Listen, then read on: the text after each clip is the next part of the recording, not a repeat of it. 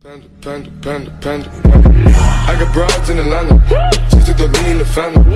Credit cards and the scammers.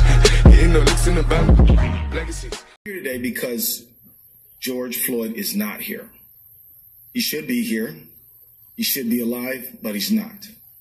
About nine days ago, the world watched Floyd utter his very last words I can't breathe as he pled for his life. The world heard Floyd call out for his mama and cried out, Don't kill me. Just two days ago, when I became the lead prosecutor in the murder of Mr. Floyd, I asked for time to thoroughly review all the evidence in the case. And, and we looked at case the evidence that's available, and the uh, investigation is ongoing at this time.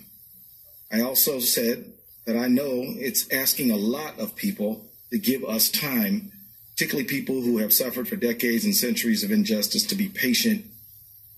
And yet, we did get that time.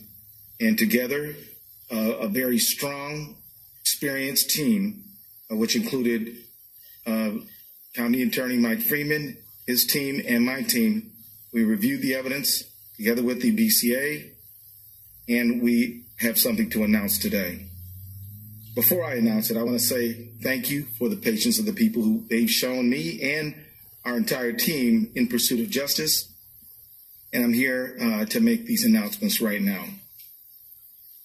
First, today I filed an amended complaint that charges that charges former Minneapolis police officer Derek Chauvin with murder in the second degree for the death of George Floyd.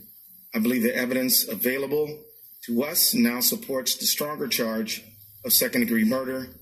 We've consulted with each other and we agree. Second, today arrest warrants were issued for former Minneapolis police officers uh, J.A. Kueng, Thomas Lane, and Tou Thao. Finally, I'd like to announce that today, Hennepin County Attorney Michael Freeman and I uh, uh, filed a complaint that charges uh, police officer Kueng, Lane, and Thao with aiding and abetting murder in the second degree, a felony offense. I strongly believe that these developments are in the interest of justice for Mr. Floyd